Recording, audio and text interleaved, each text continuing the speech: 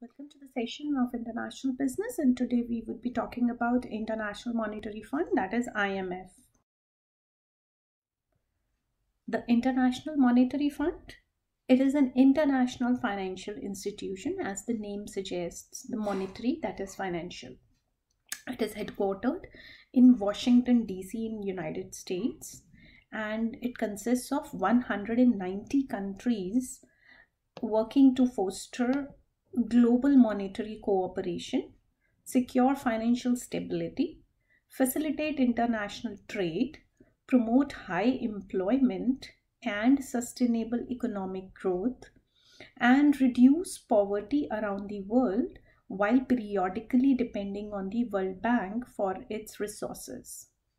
Formed in July 1944 at the Bretton Woods Conference, primarily by the ideas of Harry Dexter White and John Maynard Keynes, it came into formal existence in 1945 with 29 member countries and the goal of reconstructing the international monetary system. It now plays a central role in the management of balance of payments difficulties and international financial crisis. Countries contribute funds to a pool through a quota system from which countries experiencing balance of payments problem can borrow money. As of 2016, the fund has uh, 477 billion XDR, that is about 667 billion US dollars.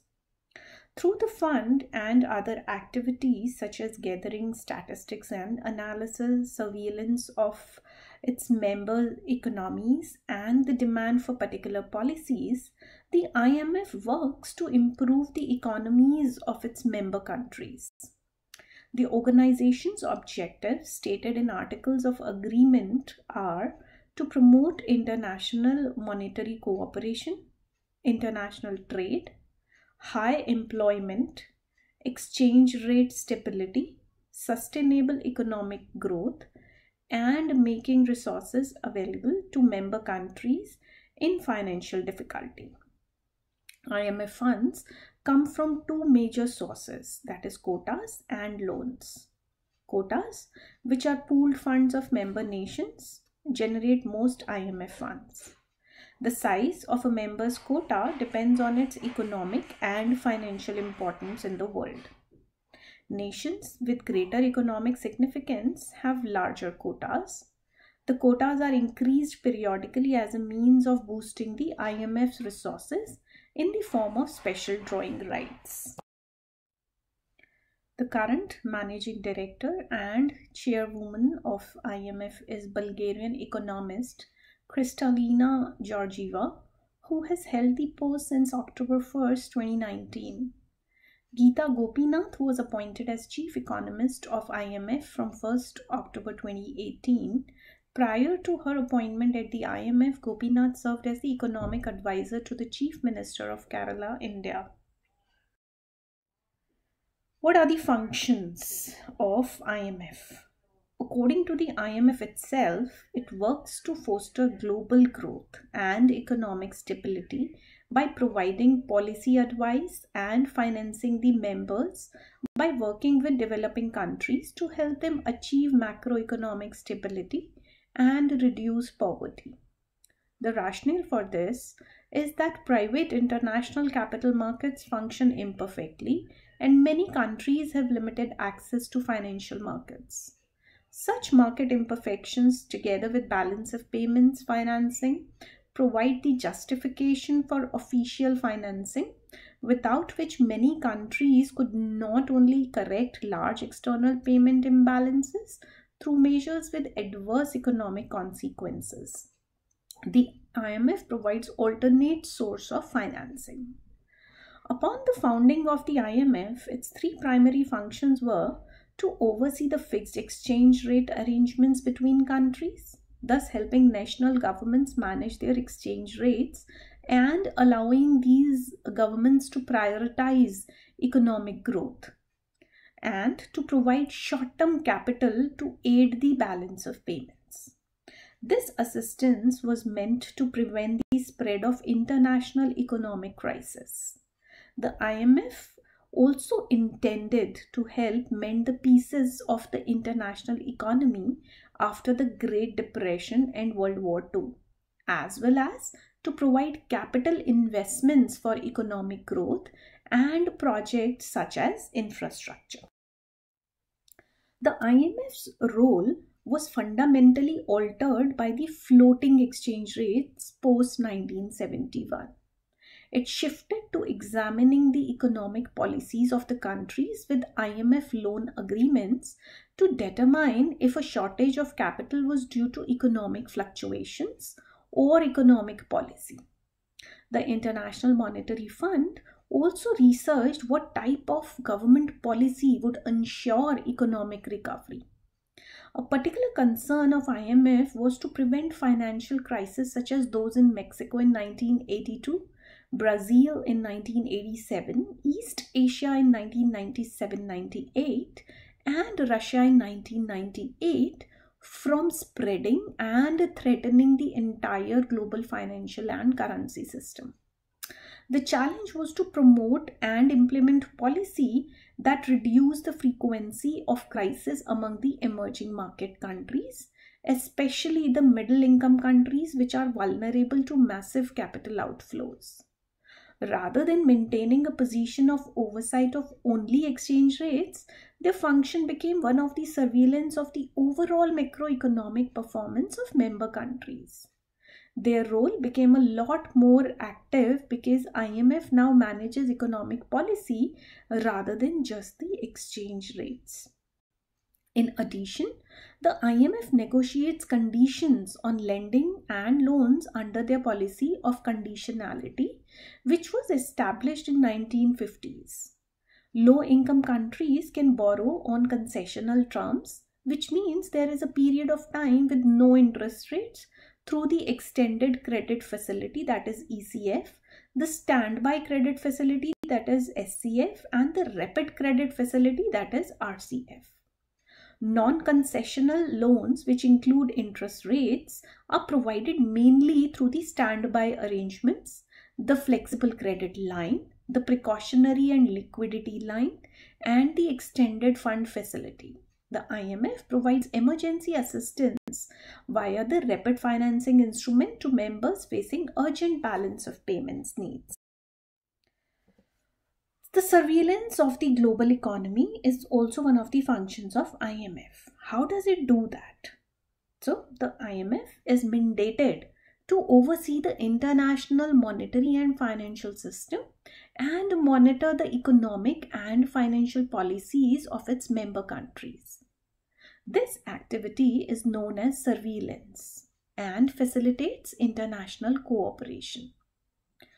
Since the demise of Bretton Woods system of fixed exchange rates in early 1970s, surveillance has evolved largely by the way of changes in procedures rather than through the adoption of new obligations. The responsibilities changed from those of guardian to those of overseer of members' policies.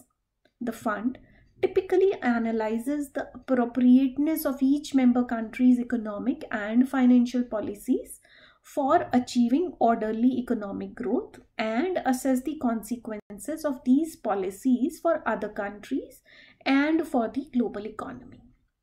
The maximum sustainable debt level of a polity, which is watched closely by the IMF, was defined in 2011 by IMF uh, economists to be 120%.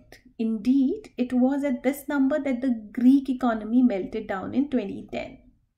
In 1995, the IMF began to work on data dissemination standards with the view of guiding IMF member countries uh, to disseminate their economic and financial data to the public. The International Monetary and Financial Committee, that is IMFC, endorsed the guidelines for the dissemination standards and they were split into two tiers that is the General Data Dissemination System and the Special Data Dissemination Standard. The Executive Board approved the SDDS and GDDS in 1996 and 97 respectively and subsequent amendments were published in a revised guide to general data dissemination system. This system actually aimed at primarily at statisticians and aimed to improve many aspects of statistical systems in the countries. Um, it is also part of World Bank Millennium Development Goals and Poverty Reduction Strategic Papers.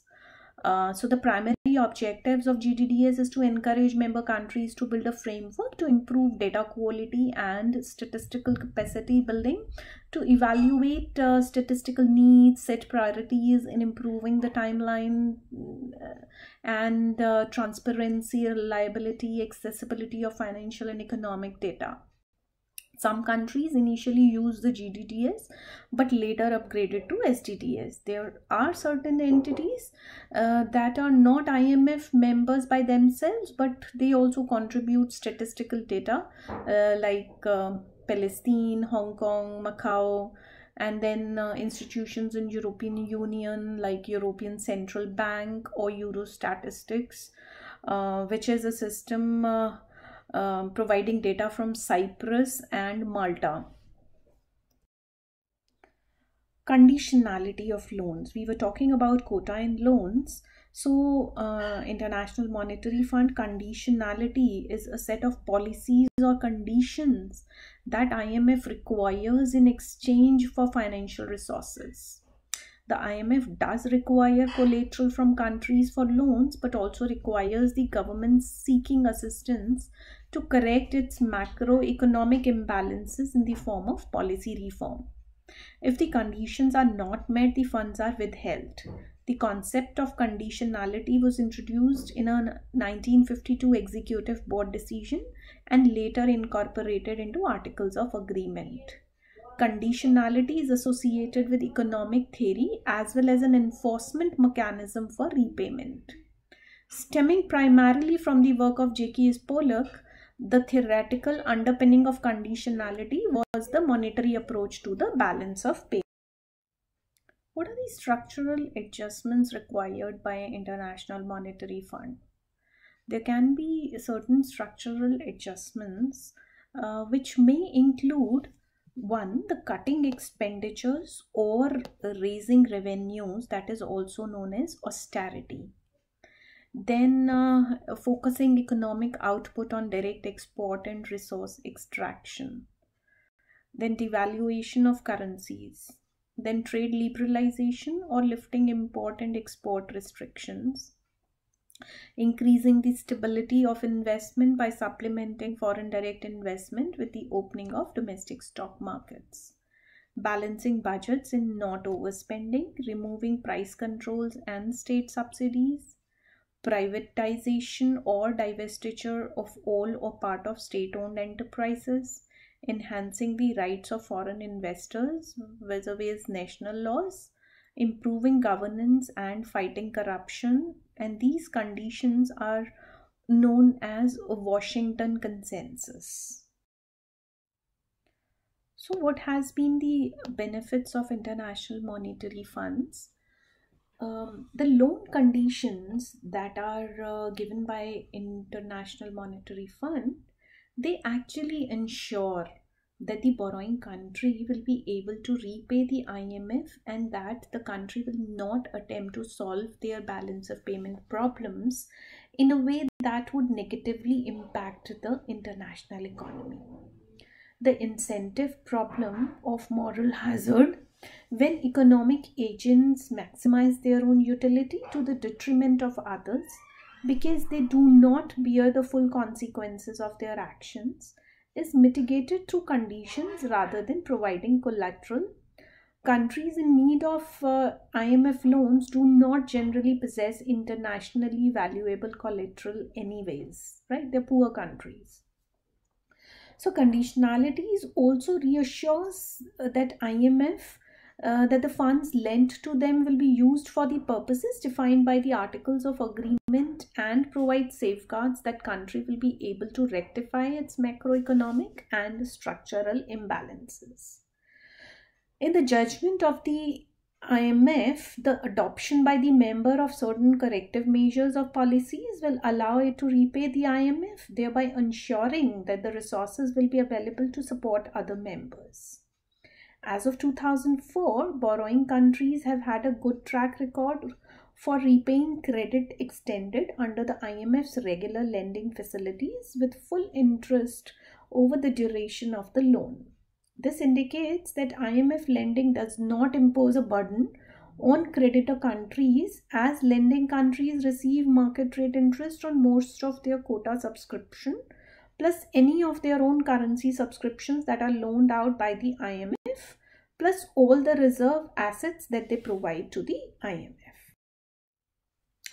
Now we see the history of International Monetary Fund.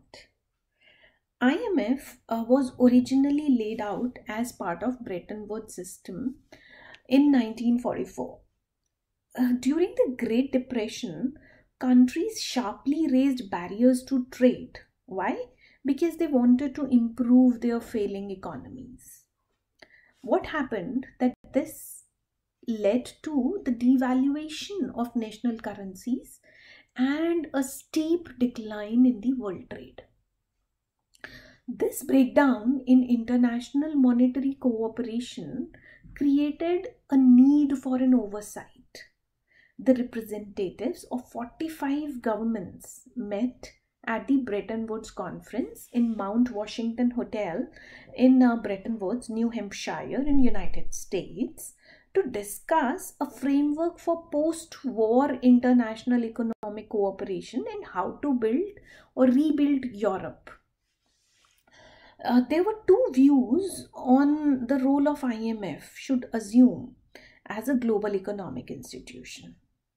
America, uh, there was an American delegate, uh, Harry Dexter White, he foresaw an IMF that functioned more like a bank, making sure that the borrowing states could repay their debts on time. Most of White's plan was incorporated into the final acts adopted at Bretton Woods. British economist John Maynard Keynes, on the other hand, imagined that IMF would be a cooperative fund upon which member states could draw to maintain economic activity and employment through periodic crises. This view suggested an IMF that helped governments and to act as United States government had during the New Deal to Great Recession of 1930s. The IMF formally came into existence on 27th December 1945 when the first 29 countries ratified its articles of agreement. Uh, by the end of 1946, the IMF had grown into 39 members, and in 1947 it began its financial operations. And on 8th May, France became its first country to borrow from IMF. IMF was one of the key organizations of the international economic system. Its design allowed the system to balance the rebuilding of international capitalism with the maximization of national economic sovereignty and human welfare that is also known as embedded liberalism. The IMF's influence in the global economy steadily increased as it accumulated more members. The increase reflected, in particular, the attainment of political independence by many African countries and more recently the 1991 dissolution of Soviet Union because most countries in Soviet sphere of influence did not join IMF. The Bretton Woods exchange rate system prevailed until 1971 when the United States government suspended the convertibility of US dollars into gold. This is known as Nixon shock. The changes to the IMF Articles of Agreement reflecting these changes were ratified by 1976 Jamaica Accords. Later in 1970s, large commercial banks began lending to states because they were awash in cash deposited by oil exporters. The lending of the so-called money central banks led to IMF changing its role in 1980s after a world recession provoked a crisis that brought the IMF back into global financial governance. Now, what has been the history in 21st century? the IMF provided two major lending packages in early 2000s to Argentina during their depression and Uruguay after Uruguay banking crisis. But by the mid 2000s, IMF lending was at its lowest share of world GDP since 1970s. In May 2010, the IMF participated in 3 to 11 proportion in the first Greek bailout that totaled 110 billion euros to address the great accumulation of public debt caused by continuing large public sector deficits. As part of the bailout, the Greek government agreed to adopt austerity measures that would reduce the deficit from 11% in 2009 to below 3% in 2014. The bailout did not include debt restructuring measures such as haircut to the treasury uh, of the Swiss, Brazilian, Indian, Russian, and Argentinian directors of IMF, with the Greek authorities themselves ruling out a haircut. A second bailout package of more than 100 billion euros was agreed over the course of few months from October 2011, during which Papandreou was forced from office um, the so-called uh, troika of which the imf is part are joint managers of this program which was approved by the executive directors of imf in 2012 for 23.8 billion xdrs and saw private bondholders taking a haircut of upwards of 50% in the interval between 2010 and 2012, the private banks of Holland, France, and Germany reduced exposure to Greek debt from 102 billion euros to 66 billion euros. As of January 2012, the largest borrowers from IMF in order for Greece, Portugal, Ireland, Romania, and Ukraine. In 2013, a 10 billion uh, euro international bailout of Cyprus was agreed by Troika at the cost to the Cyprus of its agreement to close the country's second largest bank um, to impose a one-time bank deposit levy on Bank of Cyprus uninsured deposits. No insured deposits of 100k euros or less were to be affected under the terms of novel bail-in scheme. The topic of sovereign debt restructuring was taken up by the IMF in April 13 for the first time since 2005 in a report entitled Sovereign Debt Restructuring. In the October 2013, the Fiscal Monitor publication, the IMF suggested that a capital levy capable of reducing euro area government debt ratios to end 2007 levels would require a very high tax rate of about 10%. At the end of March 2014, the IMF secured $18 billion bailout fund for the provisional government of Ukraine in the aftermath of 2014 Ukrainian revolution. What has been the response and analysis of coronavirus for IMF? In uh, late 2019, uh, the IMF estimated global growth in 2020 to reach 3.4%, but due to the coronavirus in November 2020, it expected the global economy to shrink by 4.4%. In March 2020, Kristalina Georgieva announced that IMF stood ready to mobilize $1 trillion as its response to COVID-19 pandemic. This was in addition to the $15 billion fund it had announced two weeks earlier, of which $5 billion had already been requested by Iran. One day earlier, on 11 March, the UK called to pledge 150 billion pounds to the IMF Catastrophe Relief Fund. It came to the light that 20, on 27 March that more than 80 poor and middle income countries had sought a bailout due to the coronavirus. On 13th April 2020, the IMF said that it would provide immediate debt relief to 25 member countries under its Catastrophe Containment and Relief Trust program. In November 2020, the fund warned the economic recovery may be losing momentum as COVID 19 infections rise again and that more economic help would be needed.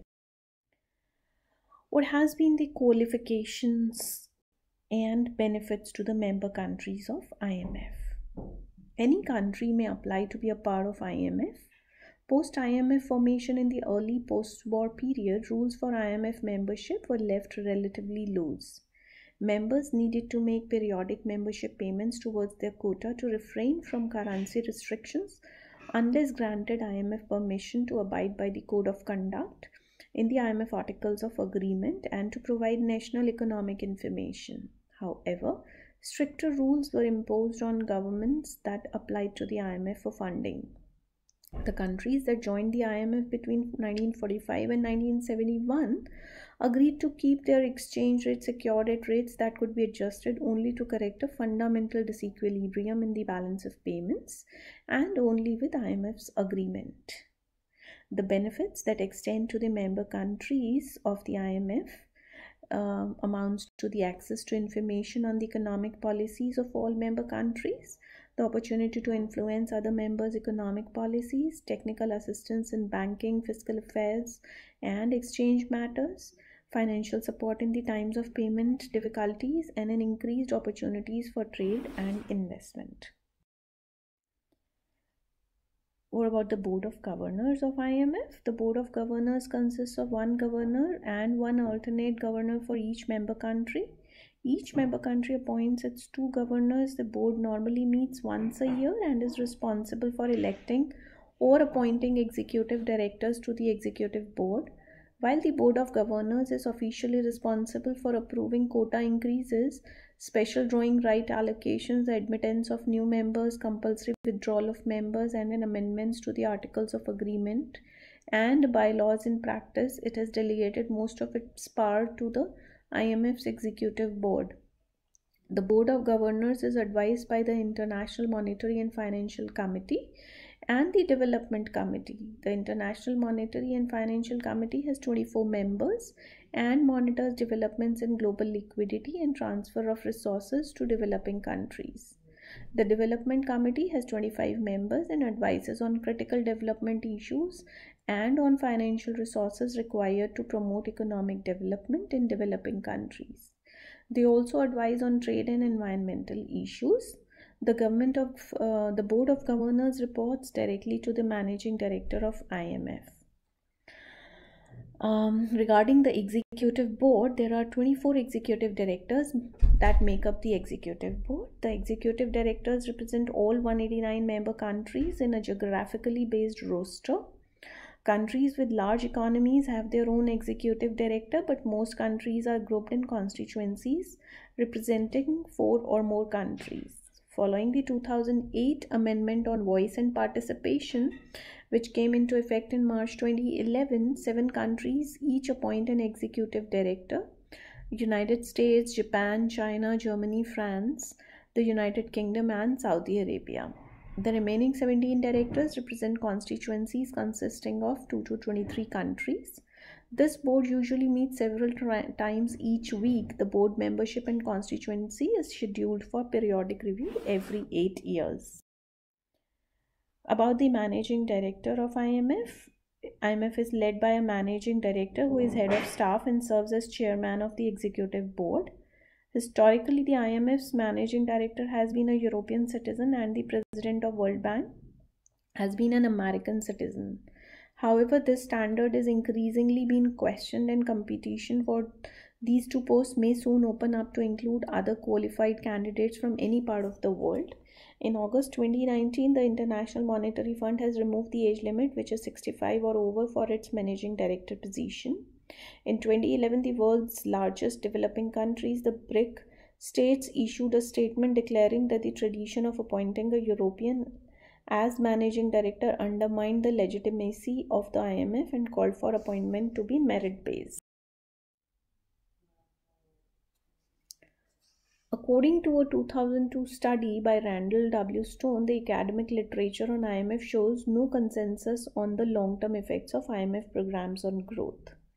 Some research has found that IMF loans can reduce the chance of future banking crisis, while other studies have found that they can increase the risk of political crisis. IMF programs can reduce the effects of currency crisis as well. Some research has found that um, IMF programs are less effective in countries which possess a developed country pattern. Uh, seemingly due to this pattern allowing countries to flaunt IMF program rules as these rules are not consistently enforced. Some researchers found that IMF loans reduce economic growth due to creating an economic moral hazard reducing public investment, reducing incentives to create a robust domestic policies, and reducing private investor confidence. Other research has indicated that IMF loans can have a positive impact on economic growth and their effects are highly nuanced.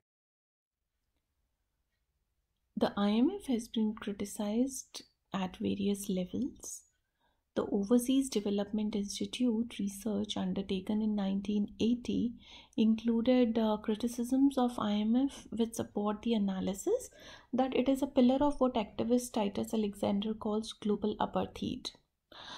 Developed countries were seen to have a more dominant role and control over less developed countries. The fund worked on the incorrect assumption that all payments in disequilibria were caused domestically the G24 on behalf of least developing country members and the UNCTAD complained that the IMF did not distinguish sufficiently between disequilibria with predominantly external as opposed to internal causes. This criticism was voiced in the uh, as the aftermath of 1973 oil crisis. Then LDCs found themselves with payment deficits due to adverse changes in the terms of trade, with the fund prescribing stabilization programs similar to those suggested for deficits caused by the government overspending. Faced with long term externally generated disequilibria, the G24 argued for more time for LDCs to adjust their economies. Some IMF policies may be anti developmental. The report said that the disinflationary effects of IMF programs quickly led to losses of output and employment in economies where incomes were low and unemployment was high. Moreover, the burden of the deflation is disproportionately borne by the poor. The IMF's initial policies were based in theory and influenced by differing opinions and departmental rivalries. Critics suggest that its intentions to implement these policies in countries with widely varying economic circumstances were misinformed and lacked economic rationale. ODI conclusions were that the IMF's very nature of promoting market oriented approaches attracted unavoidable criticism. On the other hand, the IMF could serve as scapegoat while allowing governments to blame international bankers. The ODI conceded that IMF was insensitive to political aspirations of LDCs while its policy conditions were inflexible. Argentina, which had been considered by the IMF to be a model country in its compliance to policy proposals by Bretton Woods institutions, experienced a catastrophic economic crisis in 2001 with some believed to have been caused by IMF induced budget restrictions, which undercut the government's ability to sustain national infrastructure, even in crucial areas such as health, education, and security, and privatization of strategically vital national resources. Other attribute the crisis of Argentina uh, misdesigned fiscal federalism, which caused subnational spending to increase rapidly. The crisis added to widespread hatred of this institution in Argentina and other South American countries, with many blaming the IMF for the region's economic problems.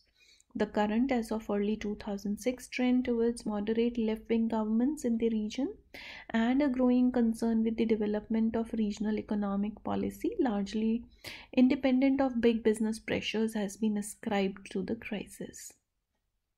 In 2006, a senior ActionAid policy analyst, Akanksha Marphatia, states that IMF policies in Africa undermine any possibility of meeting the Millennium Development Goals due to imposed restrictions that prevent spending on important sectors such as education and health. In an interview, the former Romanian uh, Prime Minister Călin Prosperiu Țăranu claim that since 2005 IMF is constantly making mistakes when it appreciates the country's economic performances. Former Tanzanian President uh, Julius uh, Nyerere, who claimed that debt ridden African states were ceding sovereignty to the IMF and the World Bank, famously asked that who elected the IMF to be the Ministry of Finance for every country in the world. Former chief economist of IMF and former Reserve Bank of India Governor Raghuram Rajan, who predicted the financial crisis of 2007 8, criticized the IMF for remaining a sideline player to the developed world. He criticized the IMF for praising the monetary policies of US which is believed were wreaking havoc in emerging markets. He has been critical of ultra loose money policies of western nations and IMF. Countries such as Zambia have not received proper aid with long lasting effects, leading to concern from economists. Since 2005, Zambia did receive debt write off, which helped the country's medical and education funds. However, Zambia returned to a debt of over half its GDP in less um, than a decade. American economist William Easterly, skeptical of IMF's methods, had initially warned that debt relief would simply encourage more reckless borrowings by crooked governments unless it was accompanied by reforms to speed up economic growth and improve governance according to the economist. So on uh, certain grounds imf has been uh, seen taken uh, side of developed country more so of united states uh, because the chief has been appointed uh, from the very state only. Uh, hence, the IMF's working has been questionable all this while. But having said that, it has been working to integrate the international trade, the world trade. So, with certain policy improvements, IMF's uh, performance uh, can be seen as unbiased um, effort to integrate the world economy. These are the references. Thank you.